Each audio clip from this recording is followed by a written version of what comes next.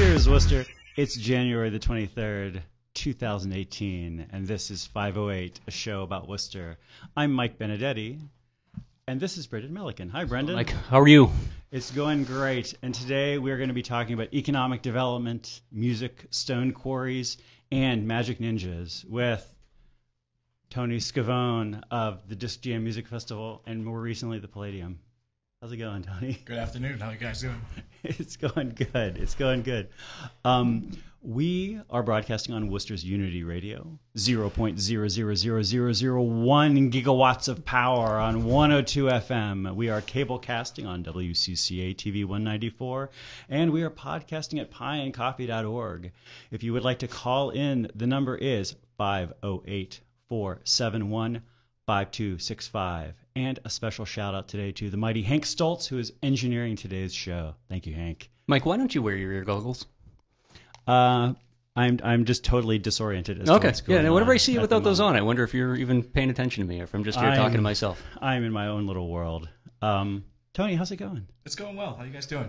Uh, we're doing it. We're doing good. We're doing good. Brendan, do you want to? Uh, Well, you know, Tony, why don't you tell us? Uh, you introduce yourself a little bit because I don't want to uh, cross streams on titles, and I, I'd love to start off just with you giving us the rough overview of uh, what you're up to these days. Sure. I'm Tony Scavone. I'm a Worcester native, and most recently helping out at the Worcester Palladium after the renovations to help do some booking and marketing and promotions for the new uh, avenues that we're able to pursue after that. So. And what else do you do besides uh, the Palladium? You get some other other stuff going on as well. Yeah, I certainly do. I, I run and produce a music festival. Uh, it's the seventh annual uh, music festival. It's called Disc Jam Music Festival. It's a combination of live music, disc golf, camping, and arts. So I totally want to jump into the Palladium stuff, but Sure. Disc Jam fascinates me because I, I didn't realize disc golf is not my universe. I don't know why. I just never got into it. But we have a ton of disc golf in Worcester, like relative to other. We, we certainly do. In, in Worcester, in, in the surrounding towns, we have probably 20 different disc golf courses uh, in within a 20 mile radius of, of Central Mass. And one of them being uh, Maple Hill is pretty much the premier disc golf destination course in the country. So, and I, I totally knew that this was going on in the sense that like I live over in the Tatnuck area, so I know some of the, some of the uh, venues that are over in Leicester. There's obviously New, Newton uh, Square, Newton Hill. Yep. But last year, it was someone from Destination Wor- Worcester reached out to me to see if I wanted to sell ice cream at like a disc golf conference taking place at the DCU Center. That was at least pitched to me as being like huge relative to something that's probably kind of obscure in most people's mind. Yeah, it's a niche sport that's growing tremendously. Um, if you if you look at it compared to some of the you know other uh, you know new sports like kayaking or like you know, but it's competitive. People can actually make a living touring, playing disc golf now. And you're packing that into a music festival and Yeah, correct. We wanted to be different with the uh, the things that we were able to provide while the music wasn't going on. It's a four day event, camping and hanging out and and getting to know people and bringing people together. And one of those things that I've been involved with that helped the community with the live music and and the event, it's been disc golf. I meet a lot of genuine good people out on the mm-hmm. course and and thought that that would be a great element to provide a, an alternative to standing in front of a stage and sitting in front of a food vendor for you know multiple hours in a row and and opening up some some opportunity for people to express themselves in a in a you know in the woods where you get to like meet people and you know hang out and it's not a hoity-toity golf setting like a like a you know ball golf where you have to pay eighty dollars mm-hmm. and wear a nice shirt and whatnot. You can kind of be yourself and and enjoy yourself on the in the course while while you're enjoying nature and and if you have a competitive bone in your body. Once you start to play, you, you, you challenge yourself. It's not that you compete against others. It's you compete against yourself and how you can do the next hole. And you just kind of you get this like energy to like I want to do better. I want to try harder. And if you know if you can't do it, you laugh at yourself. But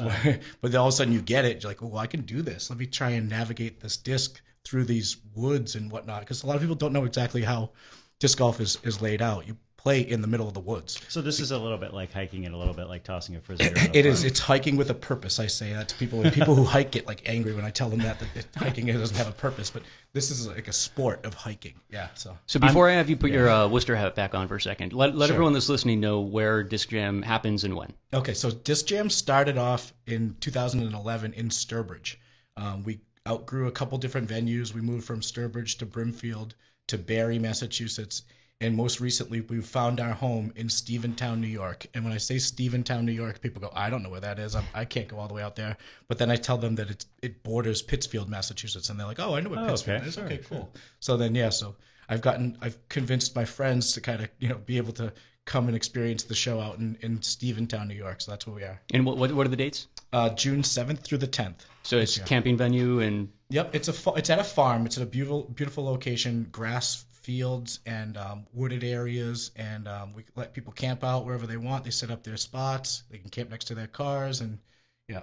Okay, so again, we're putting the Worcester hat back on for a Sure, second. sure. Why don't you talk a little bit about how you got brought into um, the Palladium? Because you know, I, I feel like we kind of recon- reconnected sometime after you came on board, and it was specifically because I just randomly hopped on the Palladium's website one day just to look to see what shows might be coming up. It's rare that the, in the past few years that I've found anything that really interested me down to the Same with Palladium. me. And then it seems like over the last six months, I've been at the Palladium with my wife more in the last six months than I have in the last 10 years. Like the variety of shows is getting kind of crazy. And that was one of the things I really wanted to have you come up and talk about a little bit. And it's, I know you can't take credit for everything that's happening. None of us can. But there's something special that's happening where, you know, I'm not looking down at Lupo's in Rhode Island as much as I used to.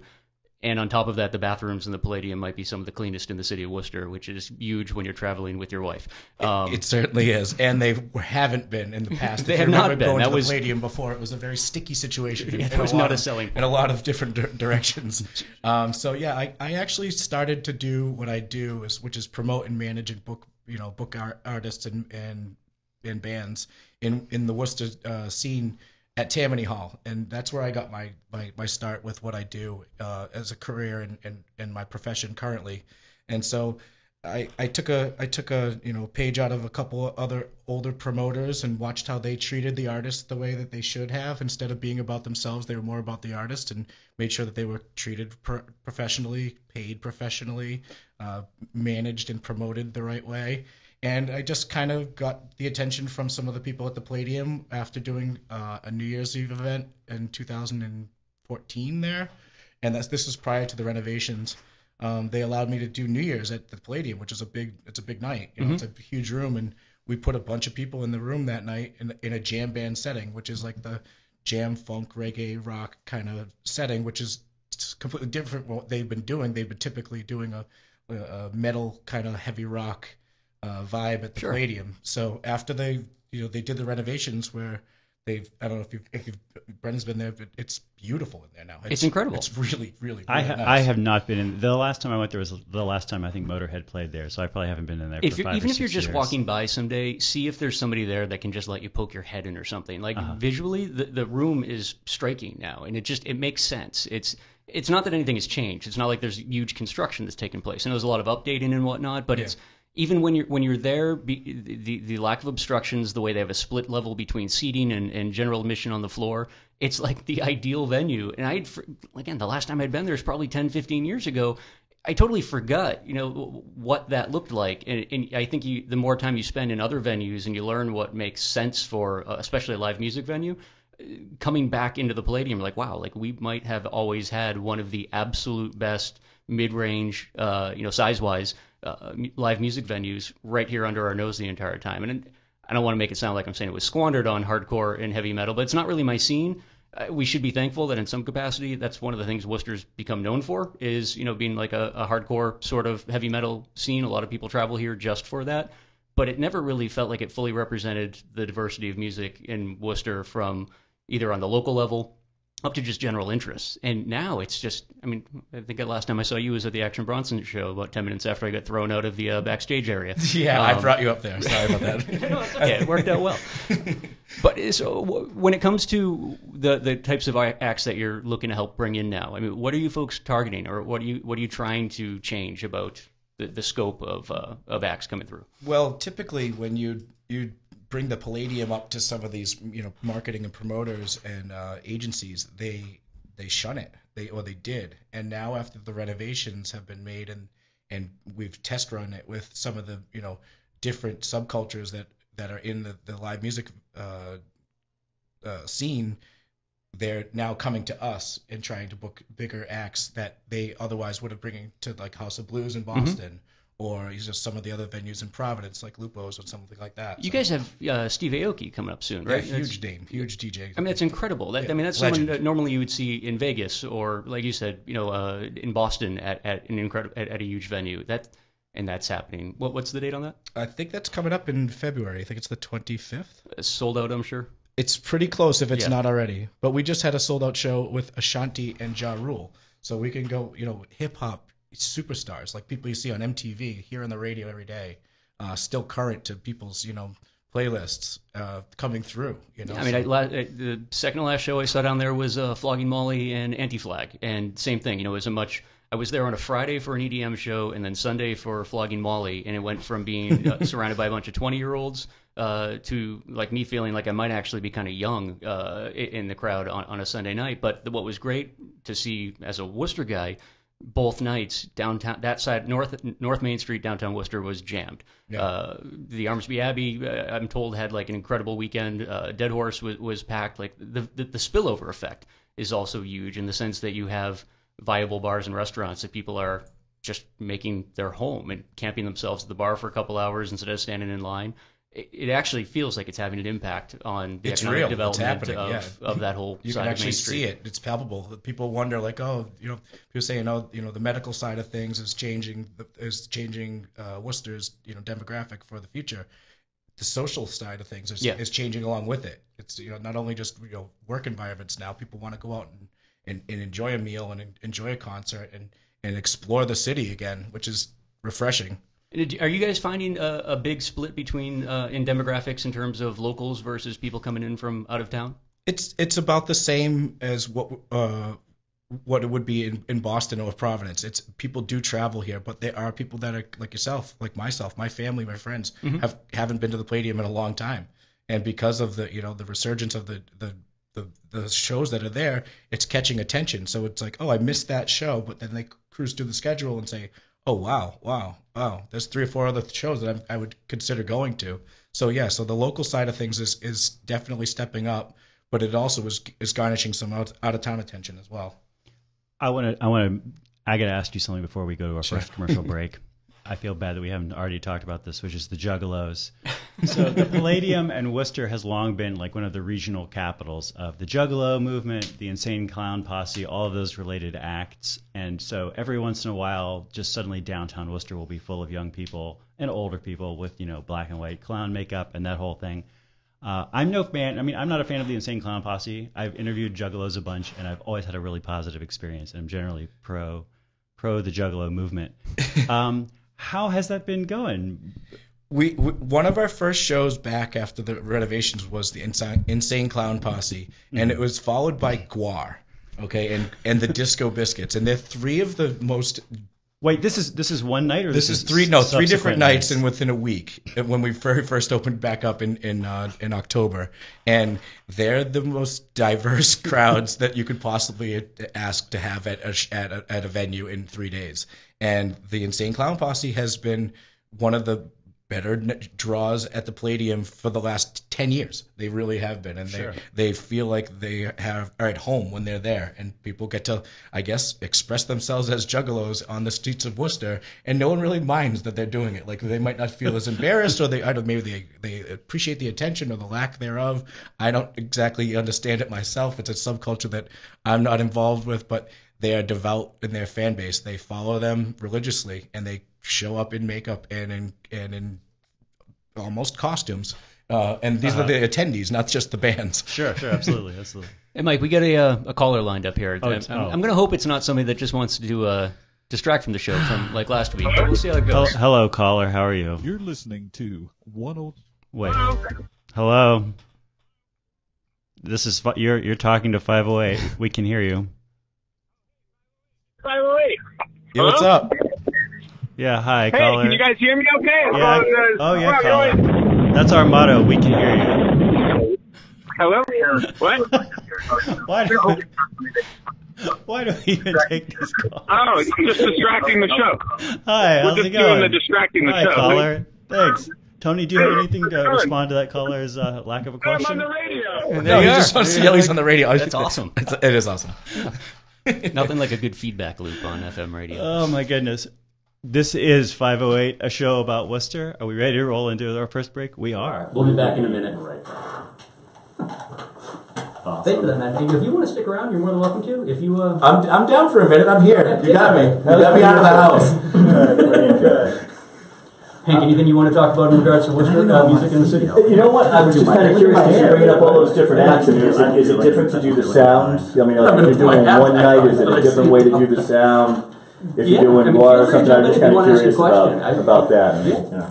That was actually one of the things that. Um, So there's some cool stuff about the Palladium. We could say that you know the, the, the actual venue, the renovations that it's gone through, the seating upstairs is Mm-hmm. like is like um, almost like IMAX seating on the Yeah. front for the first five, first uh, five rows for VIP. The stage itself is is the Madison Square Garden basketball court. Oh, no kidding. Okay, it's the, Throw some of that It's out the there, hardware. yeah. It's the hardwood from the MSG after they did the Is it renovations. really? Really? It's true. it is. Oh, It's- this is sweet. You gotta talk about. I'll, Yeah, I'll, I'll jump into that if you want to just open up the the floor for you to throw out whatever you want, and then when We that, can plug Electric Haze too. I haven't got Yeah, to no, say no, anything about that or whatnot, but I mean, totally, I don't know. How are we doing so far, right? this is fantastic. Yes. No, very interesting. This is going great. This Cool. is going great. Cool. Uh, yeah, yeah. So the second, so the second chunk is like an eight-minute chunk, and then we have another break, Okay. and then um, at some point I want to read this thing about stone quarrying, the history of stone quarrying in Worcester. but we're not going to do that in the next eight minutes. We'll I'm, talk I'm, my, about my that family later. grew up on stone quarrying. That's how. I, Well, then, I, then I well, 100 Stone Concrete, my Oh, that's right, yeah. construction company. That we had a, we had a, we had a sand and gravel co- uh, company that, that pretty much started the. Uh, Oh, nice. Well, then I. I don't totally- want to know. I totally want to. I totally want to read this on the show. I want to hear it at least. Yeah, yeah, yeah. The um, how did uh, Action Bronson like uh, BT's? It was a Sunday night. Oh, how, how do you like BTs? Oh, he loved it. he- Yeah, he was yeah, in- okay, yeah, yeah, yeah. he did. He Are definitely you did. ready to go back? Yep, we are. Okay. Hi there, Worcester. This is 508, a show about Worcester. I'm Mike Benedetti, and today on the show we have Brendan Melican. What's happening? Hi, Brendan. And Tony Scavone. Hello, hello. Tony, tell us some more about the Palladium. Just as a venue, like what what are some of the things that people listening probably don't realize are going on inside that building? It's a gigantic room. If you- it's a it's a it's a cavernous room. It's a 2,500 person uh, general admission first floor, second floor of seated balcony, uh, built in the you know turn of the century. Um, you look at it when you drive by this by the city and you don't really know exactly what's going on in that big brick building, but um, it's a lot of updates that it's gone through. You know, Brendan men- mentioned the the bathrooms being beautiful, granite countertops, you know, brass uh, fixtures, uh, tiled floors. Um, the stage itself has been uh, replaced and, and and with the Madison Square Garden basketball court after they did their renovations uh, two years ago. It was in storage for a long time. The owners So that's the actual basketball court for Madison Madison Square Garden.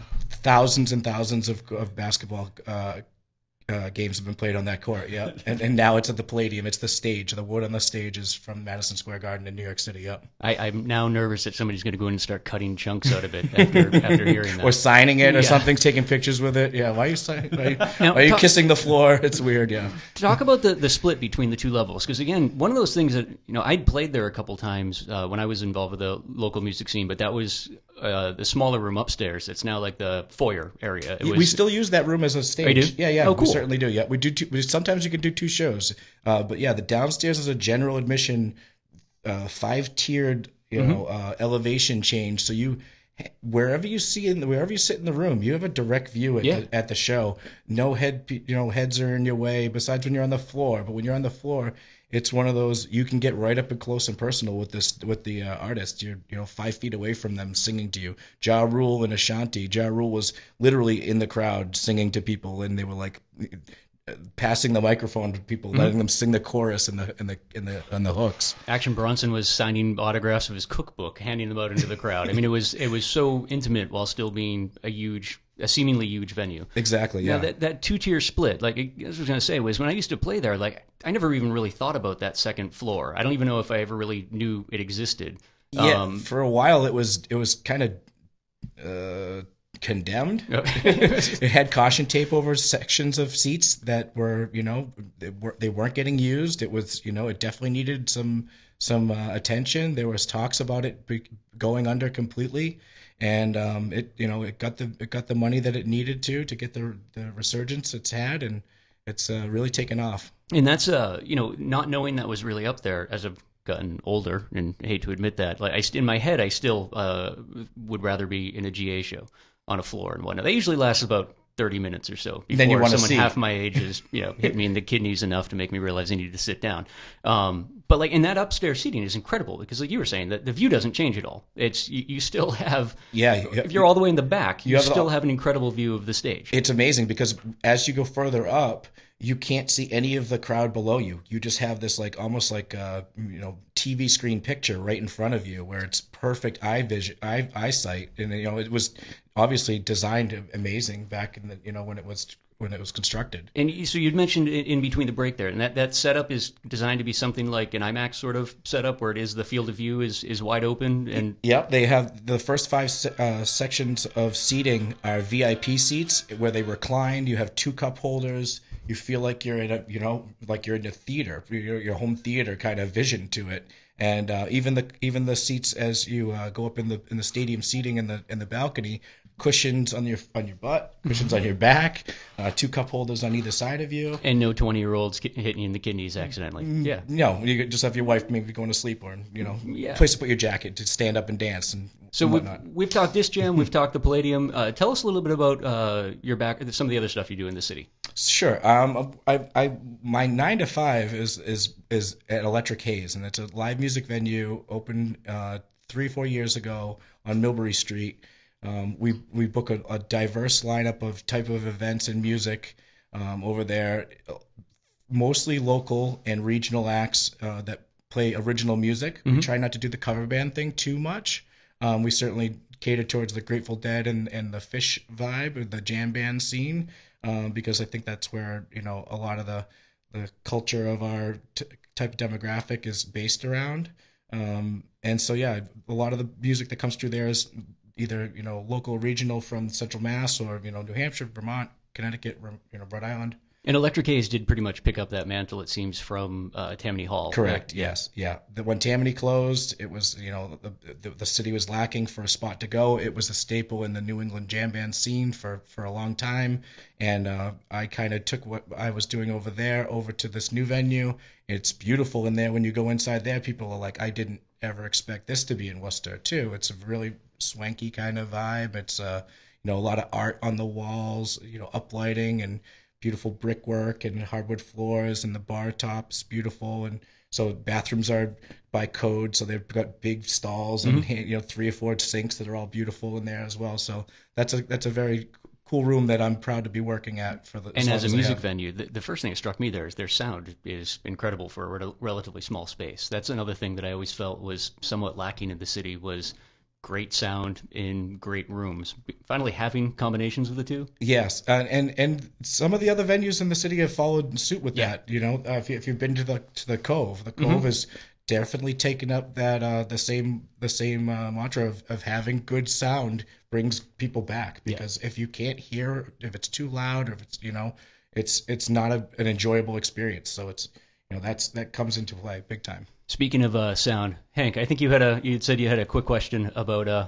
Oh sound. yeah, I mean, I, just I mean, it's a it's a great conversation. I guess I'm thinking a couple of things. One, you must now that you have so many new people coming back to the Palladium, you must get a lot of stories of people who are walking in who haven't been there in 10 years or 20 years, have stories about EM lows or, or bands that they that they saw there back in the day. Is is there some uh, folks that you're seeing all these different crowds, all these different people coming through the wall? Do they tell you some stories about the last time that they were there? They certainly do. I I have I can remember many nights of driving downtown in high school. We used to just drive around this loop on Main Street, and then we would go to the Palladium for this Yeah. like dance party, and then we you know I'd see my friends. You know, from high school. This is 20 something, 25 years ago now. Um, and now they come into the Palladium for these, you know, these rock shows and some of these, you know, other types of shows, and they're like, wow, this place is so much different from what I remember being like a, you know, 18 year old, 20 year old kid driving around and coming to the dance nights that they had over there. And that's it. I mean, that's a challenging thing. Again, I don't want to blow too much smoke up your skirt here, but from a, from a booking perspective, I remember going to see the Eagles of Death Metal down in Lupo's. The last time I had been at Lupo's was to see G Love and Special Sauce, probably 23 years earlier.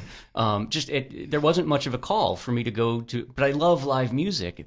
Being able to book acts that are going to be able to draw in uh, not just a variety of audiences, but the age side of things too is huge. And it, I mean, it's a lot harder. I would assume it's a lot harder to get 40, 50, 60 somethings out into a live music venue uh, than it, it might be to get a 17, 18, 19 year old out to a live music venue. And the booking, it would seem, plays a huge role in that. Which again, it just seems like I don't know why it wasn't so obvious in the past to really diversify on that front. I think the venue itself was was a difficult sell to people to come to. The artists would choose a, a venue in Boston because it's you know physically uh, and uh, you know a, a superior venue. And, you know, and the sound and the lights and all that have all got upgrades at the Palladium as well. It's gotten a, a complete makeover from top to bottom. It's got a digital marquee now outside where it has. Oh, the it looks scr- great. Have you It seen this? great. Have you seen oh, the marquee? Yeah. Oh yeah. Yeah. Mar- I mean, I feel like that's such a visual uh, as part of this downtown redevelopment. It's just such a visual marker of things that are happening. Yeah. Um, I think we got to go to another commercial break here, but we will be right back. This is 508, a show about Worcester. Awesome. Good stuff. So this next, so this next part, I'm going to talk a little bit about two two things going on this week in economic development policy, and read this thing about the quarry, and then interested to hear your take on both. Uh, yeah, just the ways the downtown has changed. The Yeah, I'll, sound- hang, I'll hang out. business. I'll hang out till, Awesome. until it ends, just because I want to hang out with you for a minute. Yeah, no, totally. Say thank you and whatnot. That's kind of what um, I figured. This knowing some, this is where we always end up. Is you know uh, weird Worcester stuff, like political stuff and whatnot. I mean, there's so much going on downtown that outside everyone thinks of apartments being built and whatnot. Yeah, yeah. But that stuff doesn't matter if it happens in a vacuum, right? It's like all the other accessory stuff. It's the nightlife, Yeah. the entertainment. It's like, okay, yeah, we, you get someone who gets a nice job in Yeah. Worcester. For how long are they going to stay there? You want them to, like, you know, not only they like come in and live in an apartment, let's have them move out to, like, Shrewsbury and buy a house and still stay working in there and be a part of the, I don't know, the, the resurgence of Worcester that is obviously happening. Yeah, no, and I feel like, you know, 10, 15 years ago, we used to have this big debate about um, the, uh, that's perfect. the, um, we used to always be debating whether or not Worcester could risk becoming a, uh, a bedroom community to Boston. Now I kind of feel like because we have all of the accessory stuff that matters, you know, dining, entertainment, and whatnot, and a housing stock that's improving, that debate is nonsense. It's who cares if everyone's if people want to drive to Boston to work because they make more money, but then come back here to spend all their money. Let 'em. Yeah, that's Let 'em. what's the downside to that? Nothing. They're in Worcester. That's good. Yeah. We want to come back here in about a About minute. a about a minute. Yeah. a minute. Okay. Okay. Anything else you want to jump in on, Hank?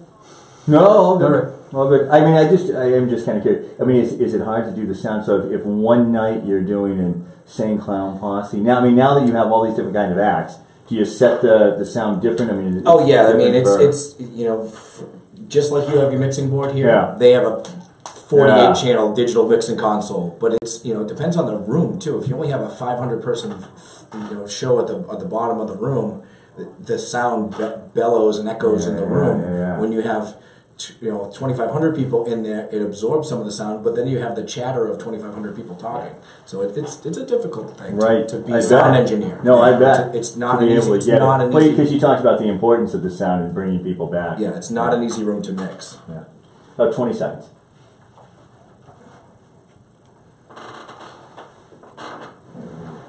Music to lead in.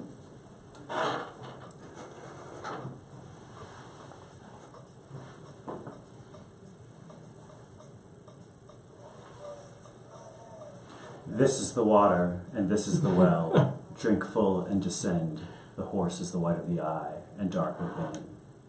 This is the water, and this is the well. Drink full and descend. The horse is the white of the eye, and dark within. This is also 508, a show about Worcester on Unity Radio in Worcester. I'm Mike Benedetti today with Brendan Melican. How's it going, Mike? Hey, And Mike, Tom- I know you, Yes. you got some stuff you want to jump into, but I, I just Yes. wanted to point out to the audience that so that wasn't us that picked that Phish track a minute ago. That was Hank that pulled it up. So Hank, how many Phish shows have you seen at the DCU's Centrum Center over the years? When I bef- when- for a short time when I was Chris Carter at WEQX Mm-hmm. for the uh, and I don't know if you guys are familiar with WEQX out of out of Vermont, but that was a station. Anytime you're in Vermont, and you're doing the live lunch. man, you're playing a lot of Dead and you're playing a lot of Phish and Mm-hmm. you're playing a lot of jam bands, uh, band, bands up there. I've only seen them once. Okay. I, I I was never a dead guy, but I was a huge Phish uh, fan. I don't think I've ever missed a show at the DCU Center Centrum, and uh, but the furthest I ever made it was actually uh, Northern Maine, which that, there's a lot of stories that went along with that trip that would not be appropriate for radio at all. And I was probably there. yeah, no, it was. Where it was a your one. show? Where did you see Phish play?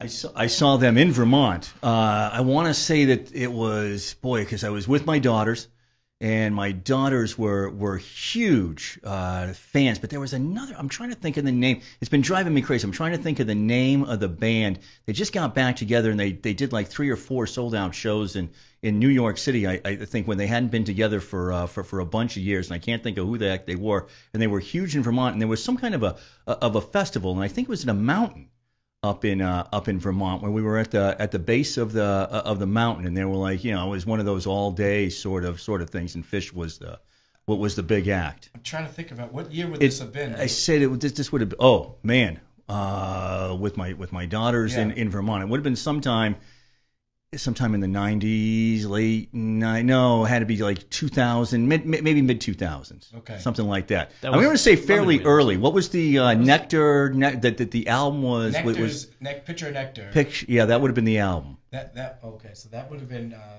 well, all the fe- festivals were in Maine, generally in Maine. Yeah. Um, but they did do the one in uh, Co- in Coventry, Mhm. Vermont. Was that where it was? Yeah, that might have been it. I mean, I remember that was the album that was out. That Okay. picture of, of Nectar. Oh, this, this is earlier than that. Then. That, yeah. I can't believe we're talking Yeah, about the one Phish on I this mean, show. Well, the, the one you mentioned Maine again. You know, the Well, one show that I Western a saw bunch of up times. in northern Maine. I can't believe how long we drove to get there. And this venue looked like if you could picture a high school auditorium. It was like seating on both sides, but this it was so big that like the ceiling had to peak down for a weird reason, and it it looked like the building was collapsing in on itself for a number of different reasons. But the uh, yeah, it was the most bizarre venue I've ever been in for a live music uh, concert, and yeah, it was one of Phish's regular stops. Incredible touring band. I would, I want to, I'm, I'm sort of jonesing, jonesing over here to talk a little bit about public policy. So I want to read some some agenda items real quick, and then we can go back to talking about fun things like like seeing bands. Um, there's a couple of public policy stories this week uh, around economic development in downtown Worcester. One of them is a item that is on the council agenda that councilors Rivera and Carlson have brought forth, which is the city manager be and is hereby requested to report to City Council if there are any programs in place or being developed to assist both residential and business tenants, many minority businesses, at risk of displacement due to downtown development, and share what staff member acts as the point person for any issues. A related story is that uh, Juan Gomez, who's the president of Centro, the uh, Latino organization in Worcester, who has uh, asked the Worcester Redevelopment Authority to, cons- to consider expanding the downtown urban revitalization plan area to include uh, part of Main South. Right now, it sort of is in downtown and it stops. Uh, it stops before it hits um, Chandler Street, and then it kind of loops around uh, south of Southbridge Street. Uh, and I find both of these stories. These I find as as sort of you know mundane as these are. Like if somebody had told me ten years ago there would be concerns around uh, down the negative effects of so much downtown development in Worcester, I wouldn't believe it, Brendan. It would be like you were telling me, you know, Mike, I'm going to start working out. I'm going to get going to get kind of ripped. You know, uh, I'm probably also going to become like 100 feet tall, and I would just be like, okay, Brendan, fine, fine, whatever. No, this is a problem for me. And then suddenly, 10 years later, you're 100 feet tall, and I'm like, now I have to consider the foundation on my house shifting. Like, there's all these weird issues that would have seemed like science fiction 10 years ago. Yeah, no, we've talked about this a little bit in the past too, where, and I think we both mostly agree on this one too, that we're probably a little bit early to be having full full blown gentrification conversations in the city. That you know, as things change and development heads in a certain direction, uh, you you got a, a block of time before you really get to the point where you're talking about gentrification, uh, as most people would think of it. You know, L.A. in the late '80s, early '90s, Philadelphia Yeah, over the last yeah. decade. But what you're mentioning, I think what uh, Councilor Rivera's concern is, that seems to be something a little bit more real and something a little bit more palpable. That, yeah, I mean, you know, a landlord uh, puts in a, a bunch of cash into renovating a building. Uh, that money has to come from somewhere. It's likely going to come from tenants, and those tenants might have been running a business at scale that was much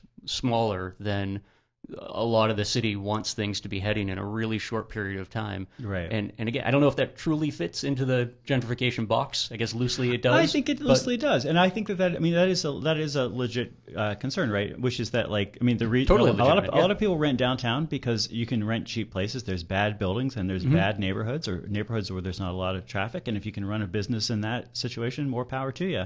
And then, like you said, suddenly like your building is in better shape and there's more people around, so it's more desirable, and the rent goes up.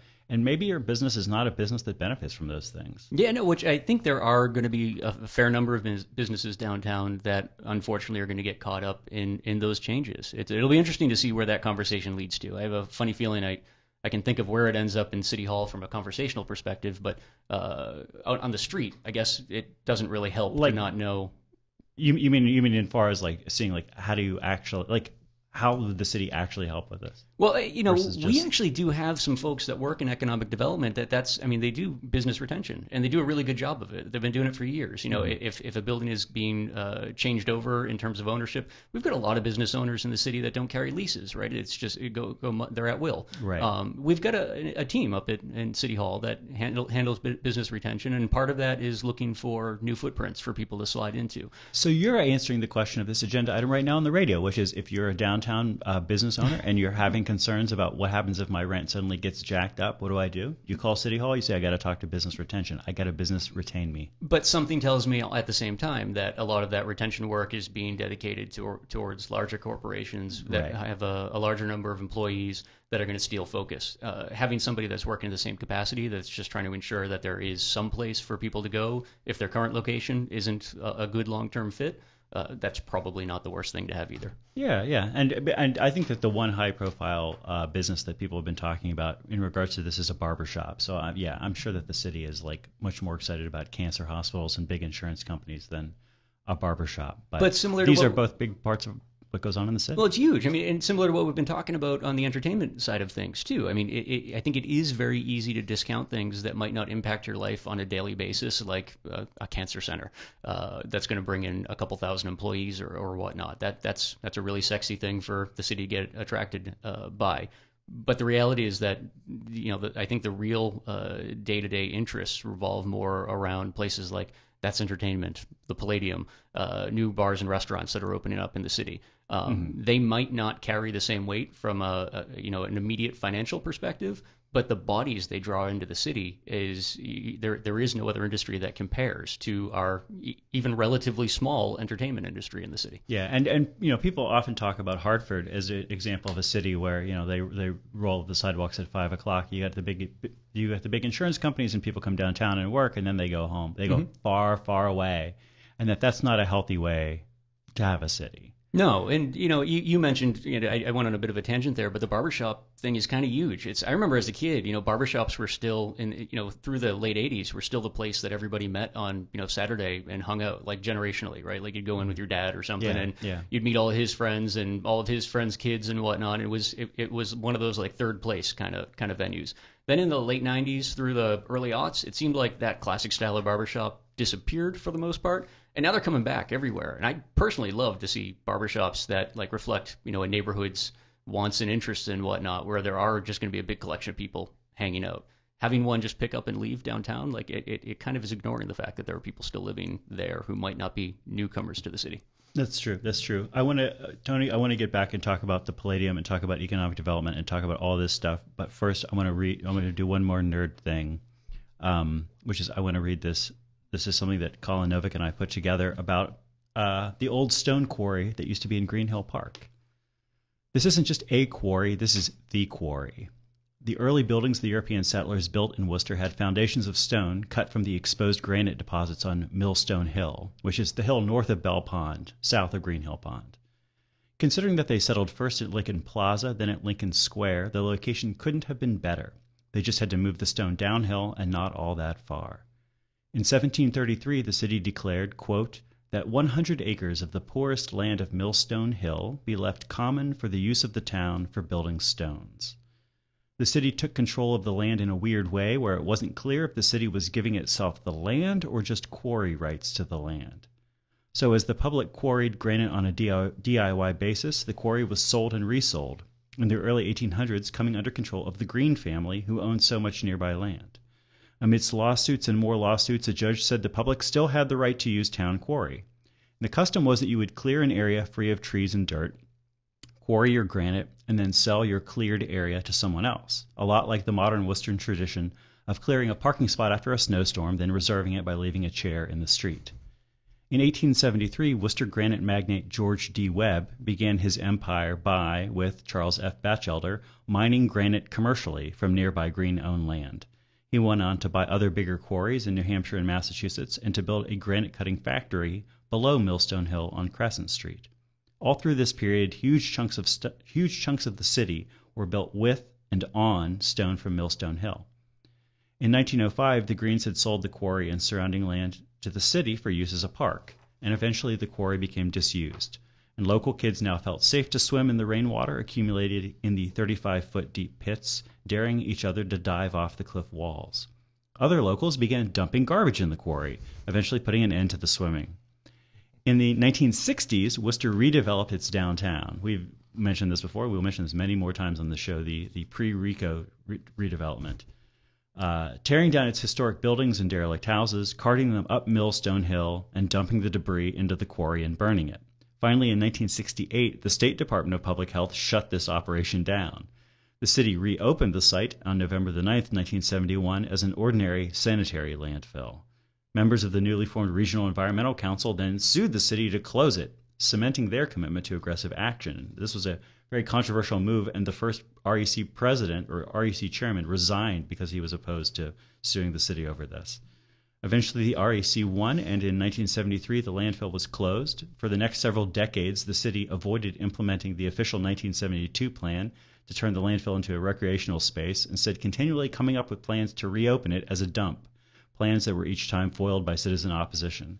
And then finally, in the late 1990s, the city agreed the landfill would never be reopened, and the city eventually capped it and turned it into the present Green Hill Park ball field. When you're up there, you could think of yourself as being atop a giant pile of trees and mattresses, but it might be even more apt and pleasant to imagine yourself atop a giant pile of ornate demolished buildings, many built in part from granite mined at that very spot. Mike, could you for a minute?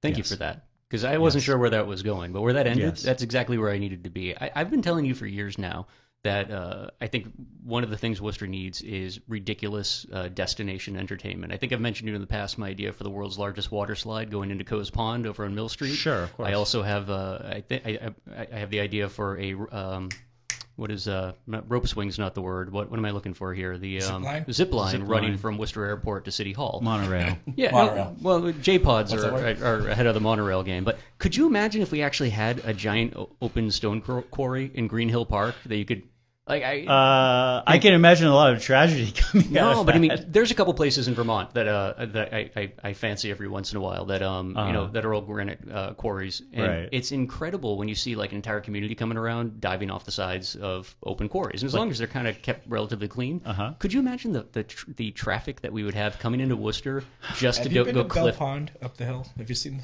Is that What, what is this? would that be an example of that? Well, no, I- well, maybe. Yeah, no, I guess it could, it could get weird, but it would also be pretty awesome if you had this, this destination in the city that was, oh yeah, we're gonna go cliff, we're gonna go cliff diving in Worcester. It's that's something that's so far off the city's radar, but here we did. We, So we this is your pro- this is your proposal, which is that we should re-excavate uh, Green Hill Park. I everyone think- gets a uh, metal detector.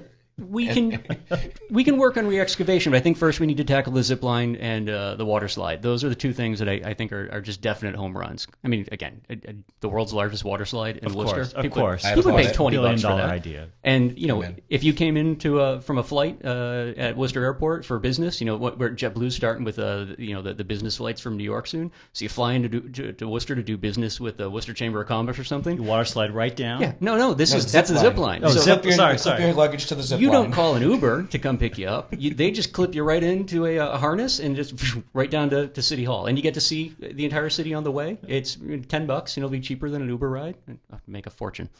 Uh, this this sounds amazing. This sounds amazing. uh, Yeah, so I mean, yeah, I don't know where to go from there. No, well, you do know where to go. That, that's you know the, the the thing is, uh, the the quarrying that was done here. I, I think about this. No joke. I think about this every time I'm walking around Home Depot or something like that. When you look at like building material, these these giant monolithic buildings that we have now for building materials. When you take a step back and you look at like plywood, right? It's always spray painted on the side where it came from, Yeah. wherever in the world or Yeah. whatever. Um, imagine if like you st- we still only built with what was locally available. Like you know, if you're building a house in Worcester now, you're building with plywood from Sarasota. You're building you know with drywall that probably came in from overseas. Sure. None of your building materials come from the area itself. Like we actually built this city on stuff. Like I live in a house that uh, has a fieldstone foundation, right? It's like that. Any house that's 100 years old or older, that that's what it's going to have. It, was materials that were just kind of you, you dug a hole and like oh, there's a bunch of rocks here. We're going to use that to, to build out a foundation. That's it, what you read is just fascinating to me. That I think it's easy to lose sight of of how regional and how local we were when it came to construction. And now it's no, there's no anything wrong with Sarasota plywood, but you know. Let's let's go to our final commercial break, and then we will come back and talk to Tony some more about this. No more plywood. This is 508, a show about Worcester. We'll be right back. I thought you were gonna say the city was built on rock and roll. we could have gone that way. you would be down with the zip line ride from Worcester Airport.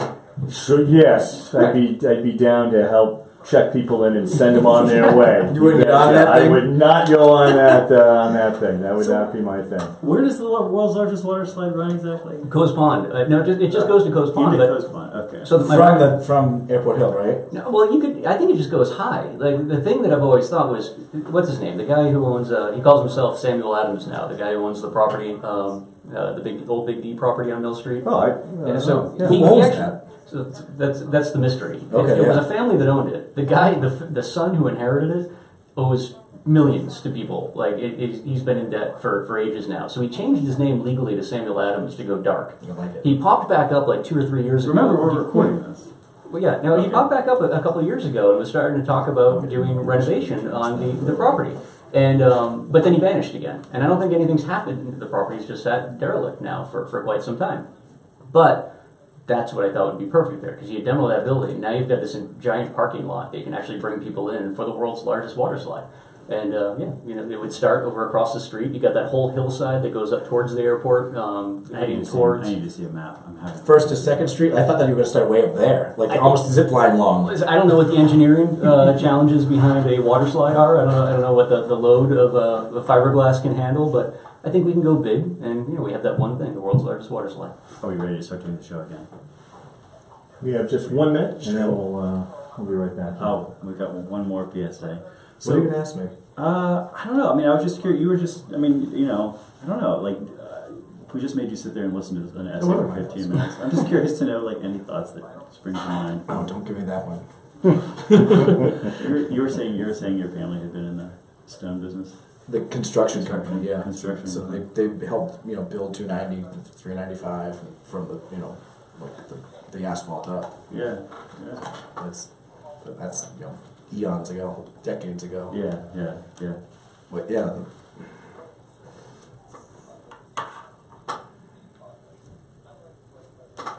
Hank, how long is this one? You will have uh, seven minutes, Is this the last one as well? and this is it. yeah. Do you have an agenda for this last seven minutes? Hmm? Do you have an agenda for this last seven minutes? No, no. Go. Okay. And we are ready anytime you are. I'm good at chiming in. You are listening to 508, a show about Worcester. Worcester's Libertarian Voice on 102.9 FM in Worcester, WCCA TV 194, and podcasting at pieandcoffee.org. Today we've been talking to Tony Scavone of disc golf festivals, music festivals, music venues, the Palladium.